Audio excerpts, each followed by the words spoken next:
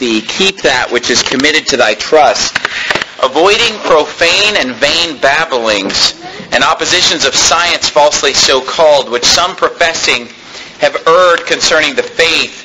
Grace be with thee. Amen. And the title of my sermon tonight is Science falsely so called. Now, first of all, just the fact that we're reading about this in the book of 1 Timothy, where Paul is speaking to his young protege in the ministry, obviously all scripture is given by inspiration of God and is profitable for doctrine. It's for our admonition 2,000 years later. But it was also written specifically to one man, Timothy, to give him some advice at that time that he would need. It's also for us today. The whole Bible is something that we can learn from today. Why? Because there is nothing new under the sun. The same preaching that people needed to hear back 2,000 years ago in Timothy's day is the same type of preaching we need to hear today. The same type of sins that people are dealing with, false doctrines that are uh, uh, abound today, those abounded thousands of years ago as well. Things have always been similar to the way that they are in this regard. And so when Paul is telling Timothy to avoid oppositions of science falsely so called, that means that approximately 2,000 years ago, when this was being written, there was science that was placing itself in opposition with the Bible. Now we today, we think this is something new, don't we? We think, well, you know, for all these thousands and thousands of years, you know, uh, everybody just believed in God and they just believed in the Bible. And then all of a sudden, science came along and started to oppose the Bible and disprove the Bible. And now we have this brand new battle, this brand new argument between science and the Bible. No, it's always been around. Even back then, people were trying to use so-called science to disprove God's Word or to oppose, as the Bible uses the word, God's Word. And Paul is telling Timothy, and really God is telling Timothy, because God's the author of the Bible, he's telling him to avoid profane and vain babblings. And notice, he's putting that right in the same category, these babblings, with science. Why? Because the wisdom of this world is foolishness with God. That's why. He says, avoid profane and vain babblings and oppositions of science falsely so called, which some professing have heard concerning the faith. Grace be with thee, amen. He said even back then, some had already heard from the faith by listening to the scientists of their day 2,000 years ago. Now what's funny about that is, if we were to look back on the science of 2,000 years ago, we'd probably laugh at it, wouldn't we? Because I guarantee you a lot of the science that they were proclaiming in Paul and Timothy's day has already been proven false long ago. And yet today we have this delusion that all of the science that is uh, being preached and taught in our universities and, and other publications that are put out uh, that promote science, we just assume that it's all true. And people in this world just blindly believe it, even though later it'll be proven to be an outright lie. And it turns out it was science falsely so-called. Now go to Daniel chapter 1. The book of Daniel is toward the end of the Old Testament. Daniel chapter number 1, after the three great big books, Isaiah, Jeremiah, and Ezekiel, we find the book of Daniel. And in Daniel chapter 1, we find the only other mention of science in the Bible. The Bible uses the word science twice only. He uses it once in 1 Timothy 6 when he's warning us about science that is falsely so called, that opposes the Word of God. And then also we find it in Daniel chapter 1 where the children of Judah have been taken captive by the Babylonians, by Nebuchadnezzar, and when they took these captives, many of them were children. And they wanted to find the best and the brightest of these children. And they wanted to bring them up in their teachings and their doctrines and in their ways and in their culture so that they could tap into those minds, tap into the talented that they had taken captive. Look, if you would, at verse number 3. It says, And the king spake unto Ashpenaz, the master of his eunuchs, that he should bring certain of the children of Israel and of the king's seed and of the princes, children in whom was no blemish. So he's talking about their outward appearance. Children that look good, he's saying. But well favored and skillful in all wisdom and cunning in knowledge. And look at the next words. And understanding science. And such as had ability in them to stand in the king's palace, and whom they might teach the learning and the tongue of the Chaldeans. And the king appointed them a daily provision of the king's meat and of the wine which he drank, so nourishing them three years, that at the end thereof they might stand before the king. So here by reading our Bibles, we do not see anywhere in the Bible God praising and lifting up science as being the ultimate, the final authority of what is true and what is not true. No, the final authority is the Word of God, not science. Okay? Science is mentioned twice in the Bible. Once by a heathen king who says, oh yeah, we want to make sure we can find some kids that really understand science. You know, that's really important. And then once is by Paul warning Timothy about people who are going to try to use a false so-called science to disprove God's Word. Now, let me go through several things tonight. I want to show you a lot of science today that is science falsely so called. It's lies that are put out in the name of science. And people blindly believe in it in opposition to God's Word. They'll hear the science and then they'll hear God's Word and they'll say, well, yeah, but that's science. Look, we've just been brainwashed to think that science is the end-all, be-all. Uh, go, if you would, to, first of all, uh, 2 Thessalonians chapter number 2. 2 Thessalonians chapter 2. And you you say, well, what is science? What is science? Well, part of what science, and, and obviously everybody's going to give you a different definition for what science means because abstract terms like that are defined differently by different people. You know, I've always been taught that the word science means knowledge. Now, that makes sense to me because I look at a word like omniscience, and it means all-knowing. Omnipotent means all-powerful. Omnipresent means present in all places at the same time. People use those three words to talk about God a lot. The Bible uses the word omnipotent in the book of Revelation. Uh, we think of omniscience, all-knowing. We think of conscience. We think of words that maybe are derived from the word science. So that seems like a pretty good definition to me. Science equals knowledge. Uh, but but you see, when most people talk about science, what they're referring to is this process of you know experimentation, the testing of theories, the gathering and collating of data, the the, the looking at studies and results and, and experimenting and, and testing and all these different things. And you know, we have the scientific method, we have all these different definitions. I'm not going to try to, to define science for you tonight. Okay. First of all, because I don't care about science. You say, well, how can you not care about science? Well, you know, because that's not where I get truth from. Right. I get it from the Word of God. Okay? And so I don't need to, to know what the word science means because I only see it twice and neither time is God telling me that it's something that I need to really learn about and study and understand and, and be an expert on. Now, I'm not against science. If other people want to delve into the world of science, hey, more power to them. The Bible doesn't mention being an electrician either, but I'm an electrician. That's okay to be a scientist or to be an electrician. But you know, I'm not going to tell you that you're not right with God because you're not an electrician. And if you don't understand plumbing, you're not right with God. You know, and if you don't understand, because why? It's a specialized trade for certain people. That's fine. I don't have to be interested in it. I don't have to learn about it to be right with God. And people will try to get you to believe that you must learn lots of science in order to, to be a, a well-rounded person. I don't see that in the Bible. And, and look, I know, I know my share of science. I got the highest grade in high school on my chemistry final. Ooh, big deal. And I don't really care about it ever since, okay? But I did learn a lot of science. I did well in science. I'm not running away from science tonight. But I, you know, we need to be careful of science that's falsely so-called. Now, first of all, let me deal with the big one that most people think of. When you read that verse, science falsely so-called, opposing the Bible, what's the first thing you think of? Evolution, the Big Bang. Okay, that's the first thing I want to deal with tonight. Look at 2 Thessalonians chapter number 2. Because I look at all this from a spiritual perspective, not a scientific perspective, because I don't care about science. I care about what God said in the Bible. Okay?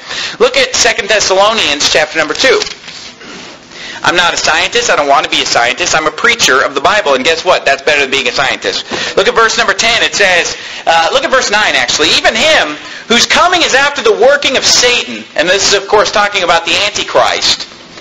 It says, His coming is after the working of Satan with all power and signs and lying wonders and with all deceivableness of unrighteousness in them that perish because they receive not the love of the truth that they might be saved.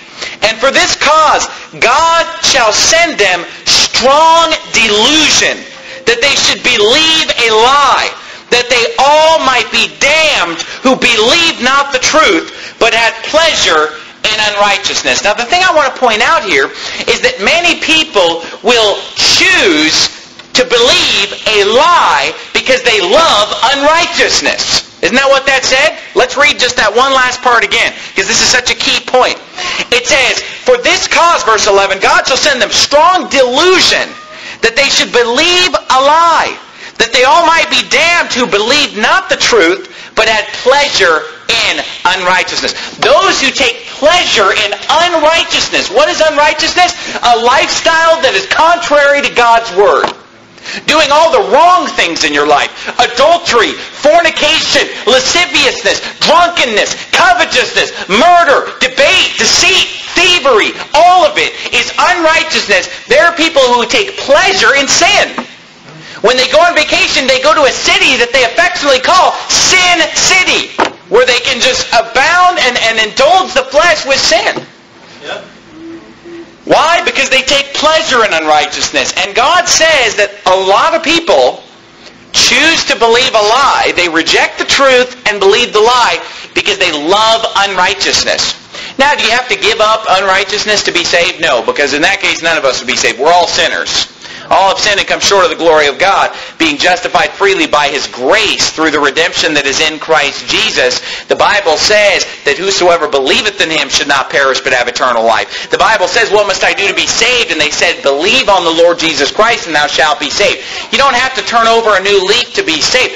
But people who love unrighteousness, they don't like the light of the glorious gospel to shine on their lives because they don't even want to believe that there is a God. They don't even want to believe that these rules even exist. They don't even want to retain God in their knowledge. They just love everything that's sinful. Now look, if you love everything that's sinful and unrighteous, when somebody shows you the Bible, are you going to love it? No, because the Bible is not unrighteous. It's not ungodly. It's not filthy and dirty. It's clean. So if you love that which is dirty, and somebody comes to your door, or somebody opens a Bible, your friend or relative or coworker shows you the Bible and shows you cleanliness and godliness and righteousness, you're, I don't like that. I don't want anything to do with that. I want beer. I want strip club. I want everything that's wicked. And that's the world we live in. So we see that people willfully believe a lie and they choose it because of their wicked lifestyle. This is backed up further in 2 Peter chapter 3. Go toward the end of your New Testament, right before the book of Revelation. 2 Peter chapter 3 teaches something similar, beginning in verse number 3. The Bible reads, Knowing this first, that there shall come in the last days scoffers. These are people who make a mockery at the Word of God. Scoffers. People who laugh at the Word of God. It says, scoffers will come in the last days, walking after their own what? So isn't it amazing how people who walk after their own lusts are the ones who scoff at the Bible? It says in verse 4, and saying, this is what they'll be saying, where is the promise of his coming? For since the fathers fell asleep, all things continue as they were from the beginning of the creation. For this they, what? Willingly are ignorant of.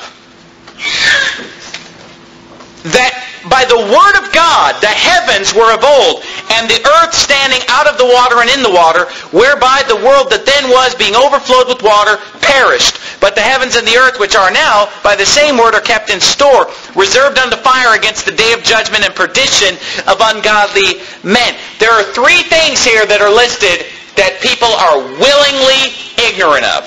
Number one is that God created the world by His Word. Remember He said, in, He said, let there be light, and there was light. Remember He said, let the dry land appear, and He, he spoke the world into existence. That's the first thing that they're willfully ignorant of. The second thing they're willfully ignorant of is the flood whereby God destroyed the first world. The third thing that they are willfully ignorant of is the second coming of Christ and the fact that he will come back and pour out fire and wrath and indignation upon this earth. So, the, the creation, the flood, and the coming judgment are the three things that these people are willfully ignorant of. You say, well, we got to scientifically prove these people wrong. They don't want to believe the truth. They already just decided to believe a lie because of their sinful, lascivious lifestyle. Amen. The Bible doesn't say here that they got confused about science. The Bible says that they're just willfully ignorant of it. Because they are walking after their own lust. See, that was the key in verse 3. Walking after their own lust, they're willfully ignorant. They don't want to believe in God. Why? Because they want no rules. Because they want to live like an animal. So they want to believe that they're an animal. Hence, Big Bang and evolution. Now here's what always cracks me up about this doctrine of the Big Bang and evolution. Those who believe in it, and the word believe is the word that the Bible uses. They believe in it. No, we know it's true. Look, if you build a time machine and take me back and show me, then we'll talk. You don't know what happened thousands of years ago. I cannot say I know what happened, you know, uh, 6,245 uh, years ago. You know, I was there. It, it's not firsthand knowledge. It's, it's all just basically been theorized you know, thousands of years later, what things were like that. And they'll say, oh, well, this, this painting in a cave is from 45,000 years ago, and this one is from 65,000 years ago. And, you know, a bunch of people are writing it down, you know, like, oh, wow, that's, that's really amazing. But, but wait a minute. There's no way to know that. You believe that. You believe that that's 45,000 years old. You believe that, that, that uh, evolution is true. Now here's what's funny about it. Those who believe in it, and it is a religion, those who believe in it this is what they say. If you don't believe in it, you're an idiot. Isn't that their attitude? I mean, when you go to college, I was just talking to my uh, sister-in-law, and my sister-in-law, she went to a university and got a degree in science. Okay, I mean, she got a four-year degree in science. So she went to a lot of these classes. And she told me that she went to a class on evolutionary biology, and of course that's going to be one of the core requirements. You know, for them to give you that piece of paper, you know, they must get into your head with all this nonsense. And obviously it's, it's laced throughout every science class.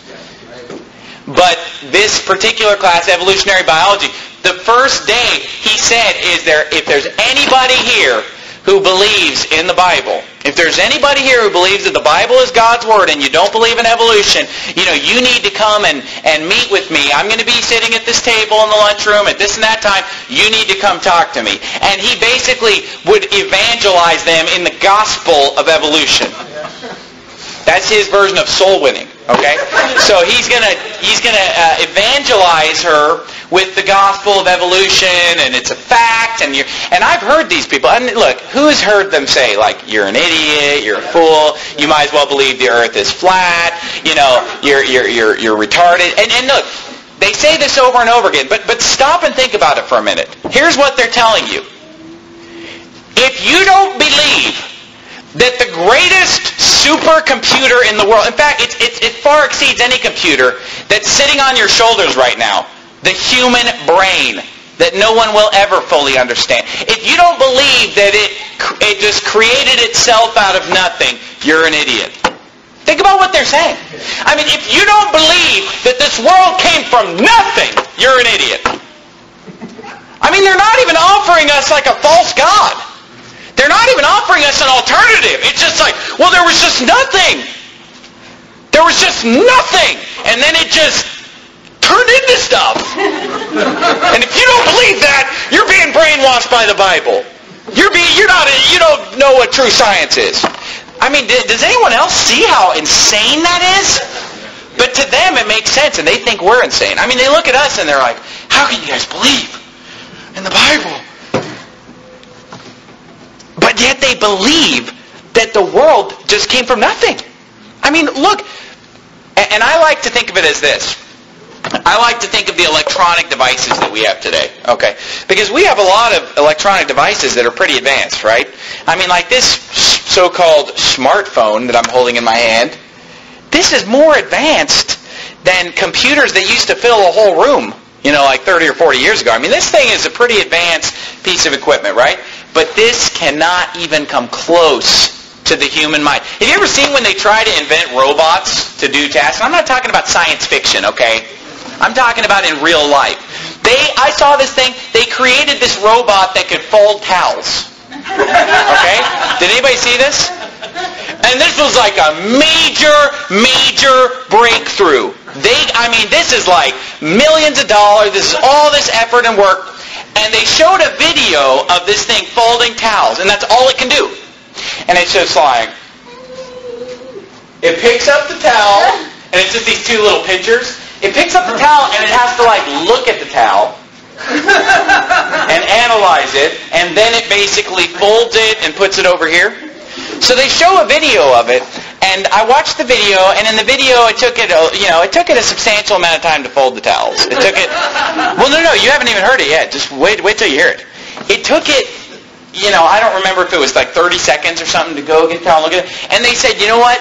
It looks pretty impressive, but they said this video has been sped up a hundred times. And they said it actually took like, the biggest problem with this is that it took a, an hour per little hand towel. And it was just these, and it was, it was not a big towel. Oh no.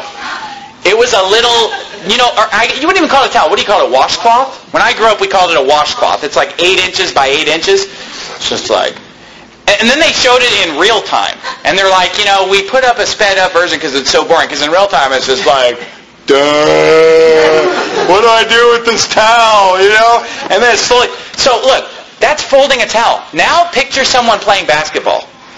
How many processes are going on in their mind as they're thinking about what all the other players are doing. They're seeing stuff out of the corner of their eye. They're hearing things. They're dribbling the ball. And when they go to shoot the ball, they're controlling all these hundreds of muscles in their body, different amounts of force, different amounts of strength. They're determining distances. They're taking all these things into account. Picture someone playing the piano. Think about somebody, and you say, well, a machine can play the piano or whatever. No, it cannot play it like a human being. It can only just, look, I've taken hymns before, and if you feed hymns into the, the MIDI sequencer, you know what I'm talking about? And it plays them, it sounds robotic. It doesn't sound real. They can't make a machine that will play it and make it sound like when a human being plays it.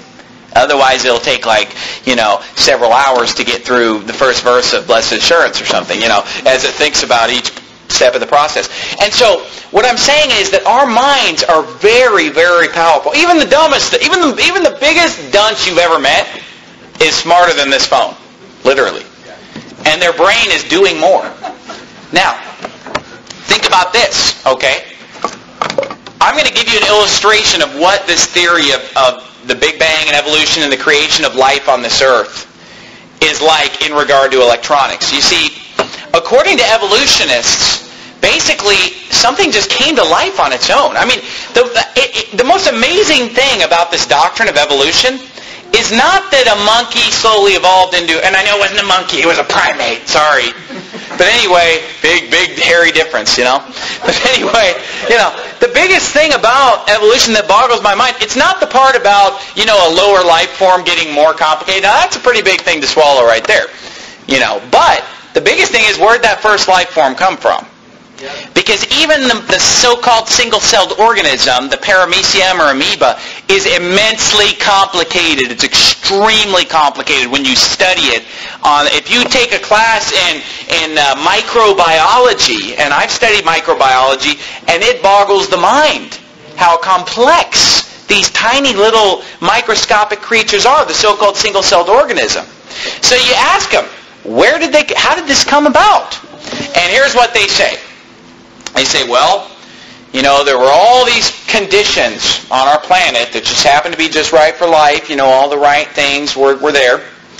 And they said that it was raining on these rocks. There were all these rocks, and it rained on the rocks, okay? And, you know, it was raining out the building blocks that could possibly build an amino acid or, you know, something that's a far cry from life. And basically what they say is that... Uh, you know, and I'm trying to I'm trying to explain this the best I can. Okay, it's stupid, but anyway, what's that?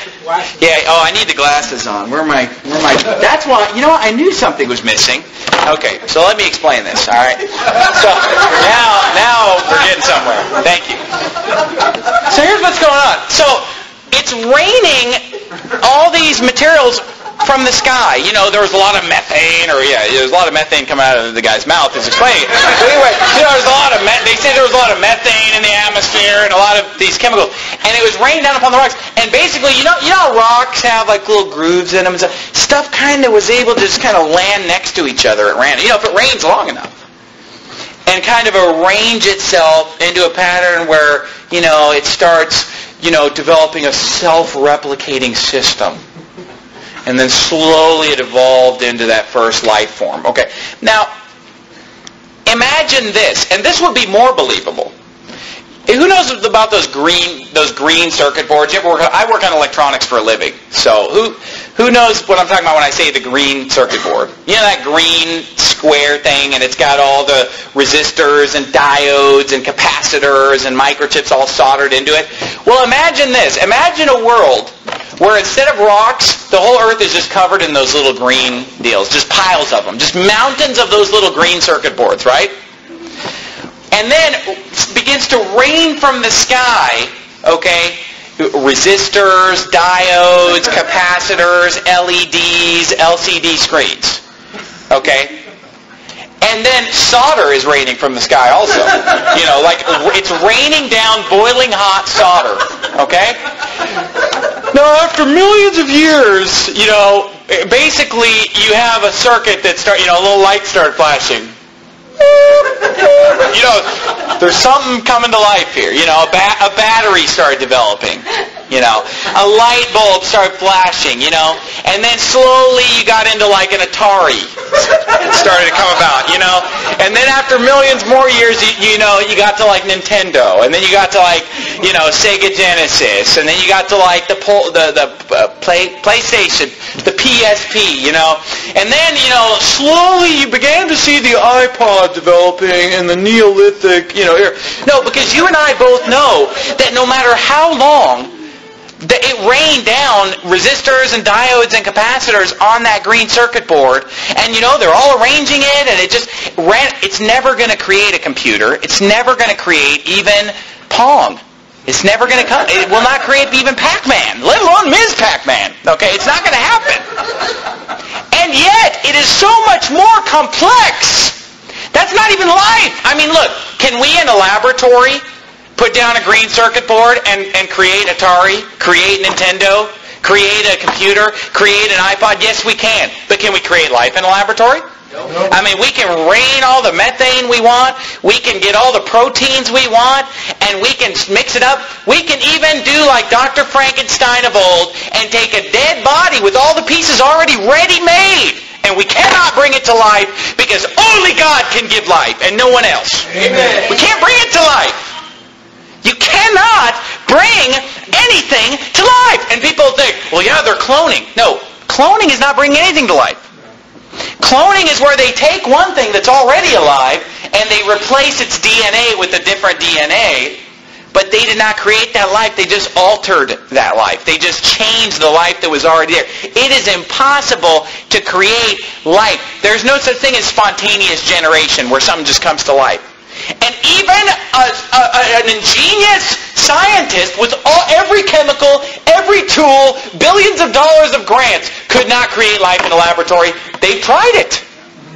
They've spent years and years trying to create even the most simple organism to come to life. They cannot do it because it's impossible and they'll never do it. Amen.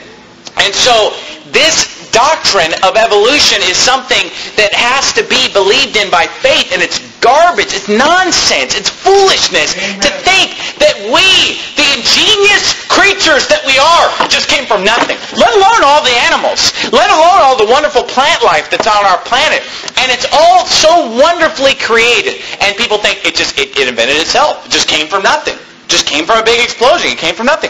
You see, you cannot convince these people because they've made up their mind what they want to believe. And that's what it comes down to. It's a lie. It's foolishness. And here's a, a news flash for you. Before this doctrine of evolution, people were still going to hell. Yeah. Yeah. It's not like everybody was saved until Darwin came along. Because when people didn't have evolution to believe in, they found something else to believe in. Anything to escape the truths of God's Word. That's always been something. But I don't want to spend my whole night on that. I mean, we could, we could go on and on about the nonsense that is you know, evolution. And, here's what they'll say to prove it. Well, this is what they say. Well, science, all scientists believe in it. And here's what they say. There are a few scientists who don't believe in it, but they said in the relevant fields, 100% of scientists believe in it. What they're saying is every evolutionary biologist believes in it because he's in the relevant field. Okay, well, what are you going to tell me next? That every Catholic priest believes in Catholicism? Well, Catholicism's true because every Catholic priest I've ever talked to believed in it, and they're the ones who know it the best. They're on the inside. See, it's stupidity because guess what? People who don't believe in evolution, they don't become an evolutionary biologist. Just like people who are not Catholics don't become a Catholic priest, okay? Because they don't believe in it. And here's what else they say. Yeah, you know, you get up in the pulpit and you mock science, you know, and then you drive your car and your phone and you use your phone and, and you know, you, you are benefiting from science and yet you mock and degrade science and, you know, the science that you made. For, look, evolutionary biology didn't make this phone. Astrophysicists did not make this phone. People who studied black holes did not make this phone. This phone was made by engineers and people who studied real science and mathematics, not this crazy goofball billions and billions of years ago, long ago in a galaxy far, far away. They didn't invent this phone. They didn't invent this car. It's not just because you label it all science, that don't make it science. What, what, you know what built my car? Real science. You know what built my smartphone? Real science. You know what came up with this theory of the Big Bang? Uh, junk science. Science falsely so-called. Lies. But I have spent too much time on it. Let's go forward. But there's a lot of other science out there that's science falsely so-called. First of all, the entire mental health industry. Go to 2 Timothy chapter 1. First of all, we've got the Big Bang and evolution. That's the obvious one. The Bible says they're willfully ignorant. The fool hath said in his heart, there is no God. Time to put away the glasses so I don't accidentally, if I wear those glasses, I might start slipping back into that subject, so I want to stay off of that. So uh, the, the mental health industry today, the mental health industry is exploding today.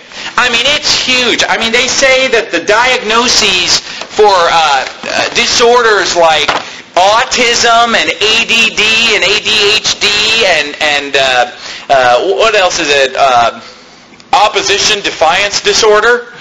You know, all these different so-called mental illnesses of uh, of uh, uh, of children, especially.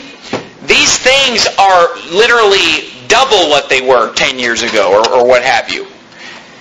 And the reason why they come up with all these mental illnesses is that they might give you drugs. Because they can't prescribe you a drug for, you're an idiot, take this drug. You're, you know, you, you disobey your parents, take this drug. You need a spanking, take this drug. No, instead, they, they label it as a disease and a disorder. Now, it's funny because these scientists, falsely so-called, who come up with these disorders of ADD and ADHD and all this, they give it these labels, and, and I don't know if you know this, but there is no physical way for them to diagnose you with ADD. You know what I mean? Because they'll say, oh, you have a chemical imbalance, it's something in the brain. But here's the thing. It's not like you can go in and they look at your brain and say like, okay, found the problem. There it is. Because they'll flat out tell you, we cannot perceive any difference in the chemistry of a person who has ADD from someone who doesn't. We cannot tell any difference in the brain function of someone who has ADD from someone who does. There's no concrete diagnosis. It's not. Let me explain to you this way. When you go to the doctor and you want to know if you have tuberculosis, it's pretty straightforward, right? They stab you with that thing, and if it looks like this picture, you have tuberculosis. If it doesn't, you're fine. There's no little stab you with the thing to see if you have ADD. Because there's no physical way to tell if you have ADD. You know how they tell if you have ADT? Or ADT, you know. I guess that's who monitors your alarm. But uh, you know how they can tell if you have ADD is just by your behavior. So basically, oh, you're obnoxious? You're a brat? You won't sit still? You won't listen? You won't obey? You won't do your work? You have ADD. Now, these most of these mental illnesses do not exist. Amen. Let me show you what the Bible says the, the cure for mental illness is. It says in 2 Timothy chapter 1, verse 7, For God hath not given us the spirit of fear, but of power and of love and of what? Sound a sound mind. God can give a sound mind. Go to Mark chapter 5. I'm trying to hurry through this. Mark chapter 5. Mark chapter number 5 and uh, I was going to read the whole story, but for sake of time, I'll just kind of touch on it here.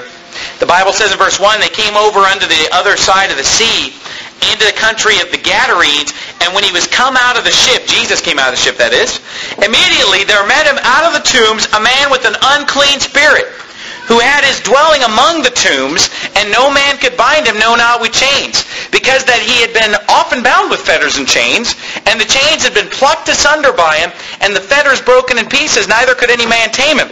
And always, night and day, he was in the mountains and in the tombs, crying and cutting himself with stones. Now let me ask you something. Would this guy be diagnosed today with mental illness? No doubt. They'd say, wait a minute. Oh, you're cutting yourself? You are mentally ill. You need drugs. Now, maybe you haven't been exposed to people cutting themselves, but let me tell you something. This is very, very common. When I was a teenager in high school, and I'm sure it's worse now since our society is getting more and more demonic all the time. When I was in high school, I personally knew many, many teenagers who cut themselves. Who knew teenagers when you're in high school that cut themselves? Look at all the hands going up. And this way they say, oh, mental illness. No, it's the devil. That's right.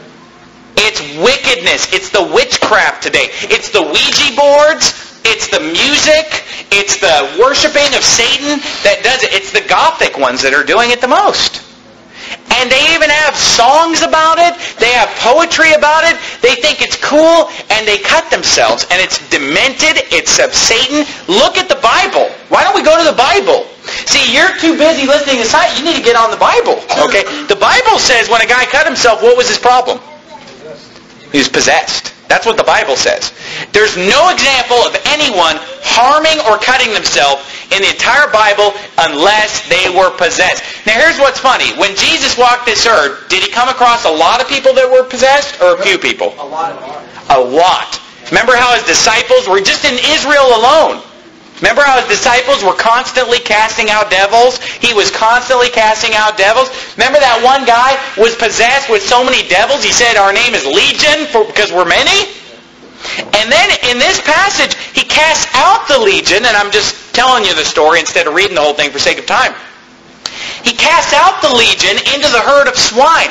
And the herd of swine was 2,000 swine. And when the devils entered into the pigs or the swine, they all ran off a cliff into the sea and perished in the waters. Now that tells me that there are a lot of devils in this world possessing a lot of people. Now we suddenly think today that devils do not exist. And many people today do not believe that devils exist. Now where did they go? They were here when Jesus was on this earth. They were here when the apostles were on this earth. 2,000 years later, they're still here. Okay?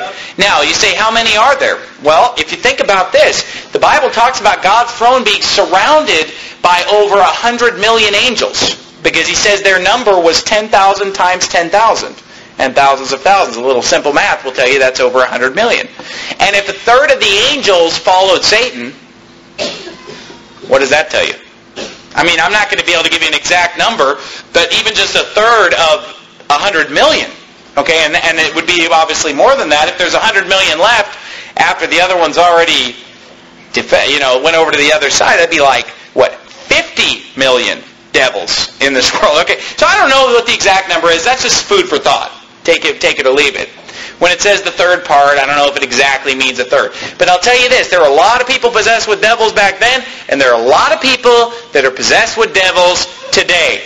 When you see people cutting themselves, when you see, and look, there's been some really sick, weird stuff in the news lately that people are doing. Let me tell you something. Those people are possessed with devils. Now, I'm not one of these that's on this voodoo hunt for, you know, I'm not trying to perform exorcisms or some, like some Catholic priest or something. I don't believe that I have the power to just go out and just cast out devils, okay? That was a, he gave them power against unclean spirits, the apostles. He laid hand on them, and the Bible says that they did special miracles. The apostles did special miracles, okay? Everybody in the world can't just do what Jesus and the apostles did. He, otherwise it wouldn't have been called a special miracle, okay? And obviously there was something different about being an apostle. Remember that one guy even wanted to buy that power that they had, uh, Simon the sorcerer, and he was rebuked for it. So, I'm not going out trying to cast out a bunch of devils today, okay? But I will say this. A lot of the so-called mental illness that's out there today is actually just people that are possessed with devils. And that's why science can't find a physical cause for a lot of this stuff. Because it's a spiritual cause. That's why they can't find it. So they can do their test. They don't have a little spiritual barometer. It's like, oh, yep, Satan. No, no, it's just it's just one of Satan's lower minions. Well, you only have five devils in you. You know, it's not a little meter telling you how many devils. That's why they can't figure it out. That's why they just look at you banging your head into the wall and cutting yourself, and they say, "Oh, you're mentally ill. Take this drug." No, they're spiritually ill.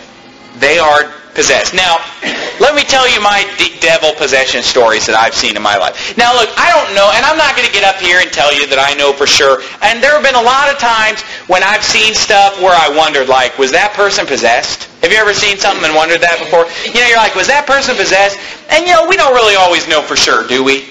whether now when somebody's cutting themselves that's a pretty good sign right there okay but honestly i've had some situations in fact just a few weeks ago i had a situation where i walk up to this guy's house and he's he's blasting some kind of you know death metal or whatever he's listening to and i i knock on the door who was i with john was i with you john the guy remember the guy with the weird voice Oh, yeah. was that you okay Yeah, yeah. So John, John remembers the story. So I knock on the door, and this guy's blasting some kind of death metal or whatever. So he comes to the door, and you know, as John pointed out, he had no shirt on. so he's like this long-haired rocker type guy, and he's blasting this stuff. So you know, and here's the thing: he was very friendly. He was a nice guy. He's like, "Oh, hey, how you doing?" And and I asked him, "Do you go to church?" He said, "No, I don't go to church." He said, "I actually uh, grew up going to church." And he said, you know, and he, he was very nice and, and friendly. And I asked him, I said, do you know for sure if you die today you go to heaven? He said, you know, I don't know. So I said, well, can I just take a minute and just show you how to be saved? Out of the Bible. It'll take just, you know, 10 minutes or something to go through it with you. And he said, well, he said, honestly, he said, you know, I've got to go, I've got to call a cab right now and take a cab to work, and I'm, you know, I'm, I'm getting ready and I'm in a hurry. And I said, okay, I'll leave you with one verse. You know, so I quoted him a scripture. And he, you know, he listened to the scripture. He was polite. He acted like, okay, you know, that's interesting. And I said, you know, if you ever want to come by, come check us out. Okay, great. See you later. Now, and I know he was telling the truth about catching the cab because about 20 minutes later, John and I were further down the street knocking doors, and we saw a cab pull up, and he got in the cab and went to work. But here was the weird part. So he's really friendly to us, really nice. He wasn't he wasn't giggling and laughing or making fun of us or anything. It was just a normal conversation of a guy who seemed like a nice guy who was interested in what we were saying. But he just legitimately didn't have time, so he, he took one verse, and that was that. So we, we start walking away, and John is my witness. We start walking away. We get down to the sidewalk, walking down the next street, and we just hear this voice from inside the house of this guy. And he's just like, faithful one, and we're like, whoa, what was that? what is going on with that? And me and John looked at each other and just went to the next door. Now look, I don't know how to explain. Maybe the guy was just making fun of us or what he was doing. I don't know. But that was pretty weird because the guy was very normal and nice and friendly to us. And then he starts talking to us, you know. And I don't know if that's really what people talk like when they're possessed or not. But it sounded like everything that you would expect if you were thinking about what it would be like if somebody were possessed. And you know, when this guy's blasting all this death metal, you know, who knows what kind of spirits. And that's why we need to be careful with music, by the way. Amen. The Bible says that God in Psalm 22 inhabits the praises of Israel. The Bible says we're filled with the Spirit when we're singing and speaking to ourselves in psalms, hymns, and spiritual songs. What kind of other spirits are involved with Led Zeppelin? What kind of spirits are involved with with uh, basically these uh, Black Sabbath or, or these kind of uh, Nine Inch Nails? What kind of spirits are involved in that music? You know, I don't know. And of course, I don't believe that a, a Christian can be possessed by a devil. Uh, I don't believe that for one second. That's another sermon. But anyway, uh, I've had that experience. Another time, I was giving the gospel to a guy, and I gave this guy the gospel, and he was a Roman Catholic. And he was a devout Catholic, and he said, uh, you know, well, I believe in Jesus, but I also believe in the Virgin Mary, and he, you know, he's just basically giving me all his Catholic doctrine. So I'm going through the Bible with him, showing him. And then he starts telling me, how, and he's just really mellow, calm, smiling, talking about how he loves Mary, talking about he loves, you know, his religion. And basically, he is uh, telling me how, you know, he, he had these visions where he, you know, in dreams of the night, where basically he saw Mary appear to him in the grocery store, and then the next day he went to that same grocery store and the same people were there. So I don't know. So he's telling me all this stuff. And I explained to him, you know, I showed him the verse in Deuteronomy where the Bible talks about, you know, sometimes you have dreams that conflict with God's word. You know, that's a false vision. That's a false, you know, uh, prophecy that's coming to you. And all of a sudden, and I didn't say anything rude, and there were other people around, and I didn't say anything rude to this guy. I was just talking to him about the Bible, talking to him about the gospel, and uh, and I mean the guy just snapped, just boing, okay. And the guy just started screaming at me. His eyes turned like bloodshot. You know, when people get really mad, their eyes get like blood in their eyes. And he's just like bloodshot. He just starts screaming at me. And basically, here was the thing. his, his wife was saved. His daughter was saved. Okay? Other members of the family were saved, but he was not saved and his son was not saved. They were the two that were still Catholic, did not believe in the, in the Bible. And so as this guy snaps and freaks out, he stands up and he starts screaming. He said, I can see the future! I can see the future! And he said, for me and for... And he named his son. The one that's not saved. He didn't name any of his other children. He said, I can see the future for me and for so-and-so. And he said, it's hell! It's hell! And ran into the other room. I mean, it seemed like a guy that could have been possessed. Because all of a sudden he just snapped from being a totally normal guy. And I'm not saying that he for sure was. Maybe he just flipped out. I don't know. But I'm telling you, I've seen things like that. Another story I've often told is where my dad uh, he used to give the gospel to children on the street, and, and he used to take children on the street to church with them and everything like that. And and uh, some people didn't like it, you know, because they didn't like the gospel and they hated it. And so my dad had been uh, winning some souls, and his dad, my grandpa, was a great soul winner. I mean, he knocked a ton of doors. He was always preaching the gospel. And his name was, my grandpa's name was Andy Anderson. That's what he went by. It wasn't his real name, but he went by Andy Anderson. His real name was Dwayne. So basically, my dad was soul winning on his street, and this guy got really mad and started yelling at my dad saying, I hear you, Andy Anderson. I hear you, Andy Anderson. And my dad's name is not Andy Anderson. That's my grandpa's name. So he's yelling at my dad, I hear you, Andy Anderson. So then, like several years later, my dad's talking to a completely different person in a different city, you know, an hour away or whatever. He's talking to a completely different person, and this person was a Baptist, but they didn't believe in hell. They did not believe that hell was eternal. They believed that hell was just figurative whatever. So he was trying to show this person from the Bible that hell was real. And then this person just all of a sudden starts saying to him, I hear you, Andy Anderson. I hear you, Andy Anderson. I mean, that's weird. To say the same thing it's not even any name he's ever gone by, and two people told him the same thing. Now look, do I know for sure? And I could, I could go on and on. I mean, I'm just giving you a little sampling of stuff. And you know, if you've been out soul winning, you might have seen some weird stuff too. We've all seen, like, like when I asked for raise hand, a lot of people raise hand, yeah, I've seen people that seem like they might have been possessed. I'm not going around trying to prove, you know, if, if these stories really, I'm just telling you the stories as I saw them, or as I heard them. But the bottom line is, one thing I do know for sure is that there are people out there who really are demon-possessed, because that's biblical. And here in the Bible, let's keep reading quickly. Uh, this guy, he's, he's, uh, he's not, no man can tame him. He's always night and day, verse 5. He's in the mountains, he's in the tombs, crying and cutting himself with stones. And watch what happens. When Jesus casts out the devils into the swine, look what it says in verse number 14. And they that fled, or they that fed the swine, fled and told it in the city and in the country. And they went out to see what it was that was done. And they came to Jesus and see him that was possessed with the devil and had the legion, sitting and clothed and what? In his right mind. And in his right mind. And they were afraid. So right there we see a guy who's possessed. He comes into contact with Jesus Christ and after Jesus Christ, he, and, and the Bible is clear that he got saved because after this, you know, it's not that Jesus just cast out the devils. This guy actually got saved because this guy wants to follow Jesus and go with him to the next town. And Jesus says, no. He said, instead of following me, instead of coming with me, he said, I want you to go and tell all your friends, tell everybody you know what the Lord has done for you. You know, go around and just basically just preach the gospel. And he sends that guy out to preach the gospel. And that guy is used of God in that way. And so today we have this, this garbage science today of mental illness. Junk science that says, oh, you know, you're cutting yourself. Oh, you're a cannibal. Oh, you're, you know, you're, you're a pedophile. Oh, you're, you're, you just have a chemical imbalance. No, you're possessed. No, you're wicked.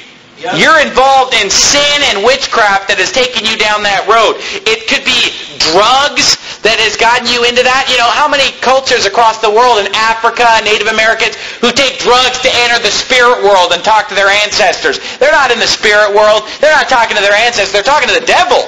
When they smoke drugs and when they so-called communicate with the dead with a Ouija board or through drug use or whatever it is, that is just Satanism. And people today are involved in so much Satanism and witchcraft today that they're inviting all these crazy, weird spirits in, and then you wonder why they're mentally ill. Schizophrenic, right? Two personalities. You know what that is? That's the legion right there. That's your personality and some other devil that's inside you taking over and, and coming through another personality. That's all that is right there. Split personalities, multiple personality disorder.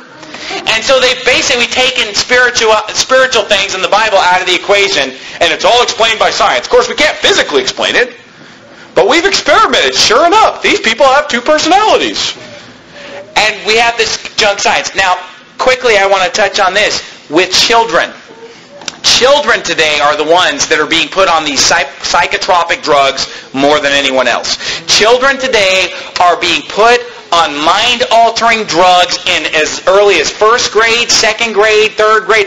I have personally talked to many parents who basically said, my, I was told that if I don't put my children on these drugs, they will be kicked out of school. I'm being forced to put my children on these drugs. Does anybody know people like that? I've had people say, we had to put the kid on the drugs or they won't even let him come to school because they won't spank. That's why. The Bible says, He that spareth his rod hateth his son, but he that loveth him chasteneth him betimes. The Bible says, Withhold not correction from the child, for if thou beatest him with the rod, he shall not die. Thou shalt beat him with the rod and shalt deliver his soul from hell. The Bible says, The rod and reproof give wisdom, but a child left to himself causeth his mother shame. And instead of doing what God said and spanking the child when it's when it's bad, when it when it commits uh, all these offenses, they just instead try timeouts. They, and look, there's a lot of science. There's a lot of scientific data to show that spanking doesn't work. Did you know that? Look it up. Go online and look up the studies on spankings and they'll all show that spankings are harmful. Every scientific study will show you that spanking is harmful to your child's psyche. But have you ever met a child that wasn't spanked, that wasn't the biggest monster in the world? Yeah. See how this science is lies? Why? Because there are drug companies that make billions and billions of dollars on these psychotropic drugs. They don't want you to spank your kid. They don't want you to teach your kid the Bible and bring it to church because they want you to teach your kid that there's no God and then they want you to never spank or discipline the kid because they know your kid's going to be a monster and then they can sell drugs that are $800 a bottle. I mean, it's more expensive than heroin. It's cheaper to get addicted to heroin than to get on these ADD pills. That's a fact. I've spoken to people who used them. It was 800 bucks a bottle. I don't think that your crack dealer is going to charge you that much. I don't know. I've never bought crack, so how do I know? but I'm sure it, I'm sure that these ghetto derelicts aren't pulling out $800 out of their pocket every time they need drugs. I'd be surprised. You know, maybe one of you you know, dope addicts can come see me after the service and correct me. I don't think we have any in our church. But anyway, look at this. This ADD industry is a money-making industry. And listen to me now. You say, preach the Bible. Okay, for the love of money is the root of all evil. Amen. That right there shows you what's behind this drugging of America and drugging of our youth and drugging of our children. And every, look, you believe in science. You say, well, Pastor Anderson, I kind of disagree with the sermon because I believe in science. Okay, well, the same guy who's telling you that you evolved from an ape and that the whole world came from a big bang and that rain fell on the rocks to create the first life form, That same guy is the same one telling you that every scientific study shows that spanking doesn't work. So when are you going to realize that science is filled with lies? And that it's uh, something that's used to oppose the Bible. You see, these experiments are skewed. They lie about the results, obviously. Everybody knows that when you look at kids that are spanked, they're good, they're happy, they're healthy children. And when you look at kids that are not spanked, they're brats, they're mad, they're throwing themselves on the ground. Now, we don't even know what it's going to be like to have a generation of children that have never been spanked take the reins of our nation. Because if you talk to your average person today who's 30, 40, 50 years old, who does not believe in spanking, you talk to your average person who says, oh, don't spank, you ask them, were you spanked? Did you get spanked? Yeah. Everybody I've ever met who was against spanking, I asked them, did you get spanked? They said, well, yeah, I got spanked. But I'm not going to spank my children. I'm going to stop the cycle of abuse. So the previous generation, as, as wicked as they were, okay, they still got spanked. But today's generation is the first generation that's just totally not spanked, or a lot of them are. And we see the result. We see these little faggoty things strutting out of the high schools today, showing their underwear and their skinny. You say, I don't like that word. Well, you know what? I don't like seeing your rear end in your underwear, you little faggot. Yeah. Okay? I'm sick of seeing your nakedness. Pull up your pants. I'm sick of it. These kids can't even pull up their pants. It's impossible. Uh, I remember a, a guy. He, a guy had a, a, a teenager at his house visiting, and he said, "In my house, you pull up your pants." And this kid pulled up his pants as far as they would go, and they were literally designed to be several inches below his waist. I mean, it was impossible. You know, if you know how pants are shaped, you know that part of the fabric at the bottom right here where it comes together into a V? That part was hitting something, and you couldn't pull him any further, and there was still a long way to go before he covered up his, his backside. And I see, and look, God forbid my children will never wear those clothes. Do not let your children dress like a sodomite. And I, you, you know, I'm not saying everybody who dresses that way is a sodomite. I'm just saying you look like a sodomite. Pull up your pants. Wear a belt like Jesus did. He had a he had a gird. He, his loins were girded. The Bible says. Okay, uh, wear a belt like Elijah. Wear a belt like John the Baptist. Okay, wear a belt and pull up your pants and don't look that way. But but that's the generation today that if you ask them, they all think being a homo is fine. They all think evolution's true. They believe this garbage. They have no morals. They have no uh, resistance toward fornication or they, they, they watch every bit of filth on TV. They have tolerance for all manner of sin. They think drinking and drugs are fine. We see the generation today, and God forbid when they're running our country after they've been brainwashed in a government school and institution and they have been uh, they've rejected the bible and they've not been spanked. Look just the fact that they've not been spanked is enough for them to turn out bad according to the bible. But there's plenty of science to show you that spanking's harmful.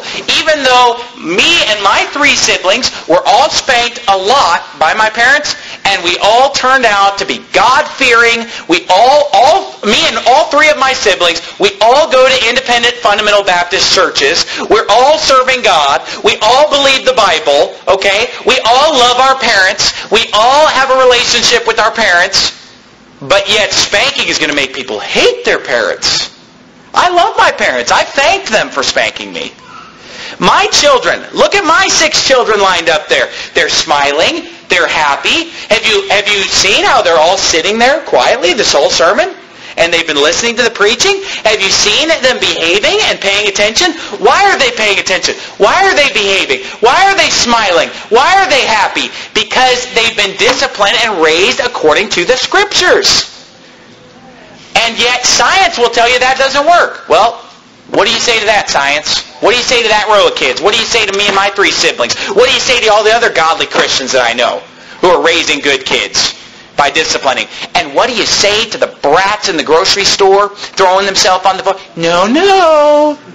Mom's going to give you a timeout. Or the counting. One, two, three. And one time I heard a lady get up to like 13. and I walked by. We were in Michigan on vacation. This is when we used to live over in that part of the country. And, and, and she's like, you know, 13. I walked up. I was like, 57? and the woman just gave me the dirtiest look. I should have been minding my own business. I was like, 57? You know, and you got to get more extreme because it starts out just like, one, two, and it, build, it builds the intensity. Three, 27! You know, it just, it just builds up and intensity. And, and then my wife said, my wife told me a couple days ago, she said, oh, I heard a new one. Now it's counting down, starting at five and going down. So what are you saying? You have five seconds to fool around before I'm even going to think about enforcing what I'm saying. I mean, if I did that, if I said to my kids, you got five seconds to go over here. Five, four, three. You know what my kids would do? They'd, they'd probably just like stand there. and right when you're like, one, it's just going to be like, a, a gun was fired. They're going to get right to But look, there's a lot of science backing up. Hey, there's a lot of science to prove global warming is true. Just ask Al Gore. You know, and yet how many times has this stuff been debunked and proven to be false? But yet it's backed up by science. There's a consensus. And Al Gore will tell you, he'll tell you if you don't believe in, in global warming, he says, you know, basically that's equivalent to believing that the earth is flat, according to him. If you don't believe in man-made global warming. The, you know, I have this huge list. I'm not going to get to any more of this tonight, but, you know, the gay gene. Read Romans 1. There's your double helix of how sodomites became sodomites in Romans chapter 1. He explains how they got that way. They weren't born that way. They got that way by following the step-by-step process that's laid out in Romans chapter 1.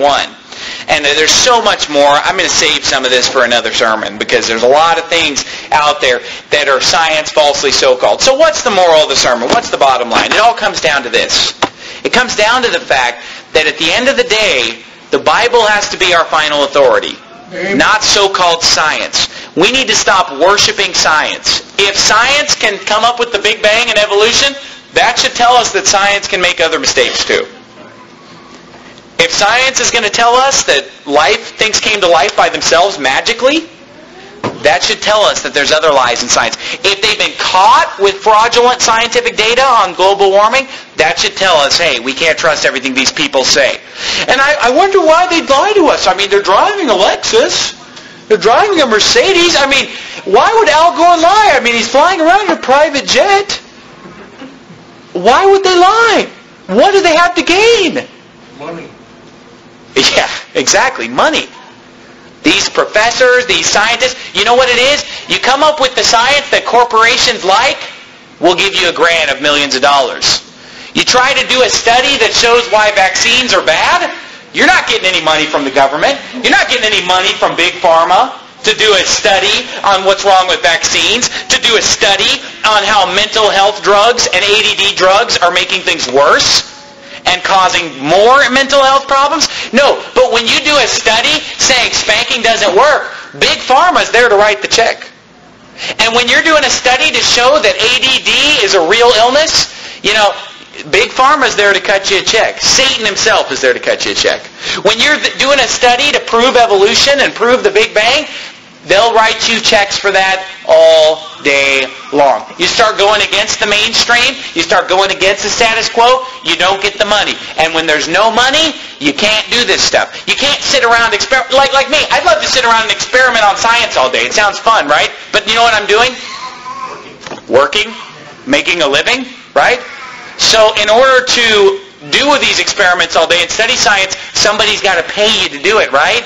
And who's paying the bills? The government pharmaceutical companies because you have to have some financial interest in supporting this stuff. And yeah, there are some good scientists out there who get money from legitimate sources, but they're so few in number compared to the multi-billion dollar pharmaceutical machine that can pump money into this godless so-called science. But without believing me on any of that, take God's word for it. There's science out there that's falsely so-called. So the moral of the sermon is this. When you hear something coming from science, take it with a grain of salt every time.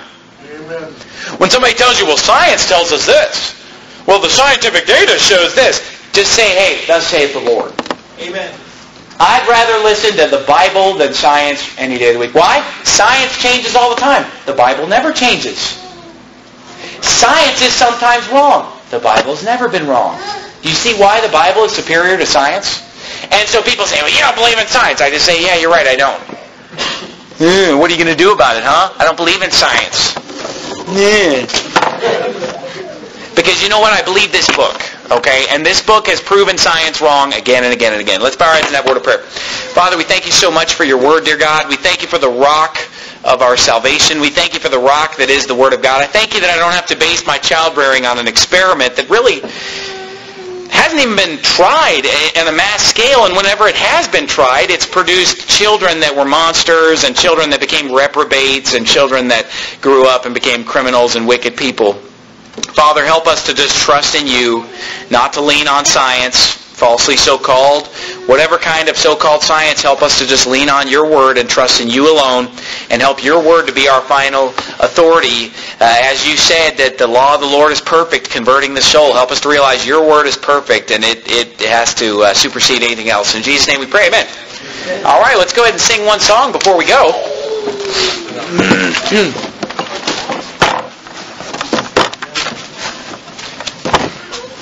Does anybody have a song they'd like to? The Solid Rock. There we go. 125.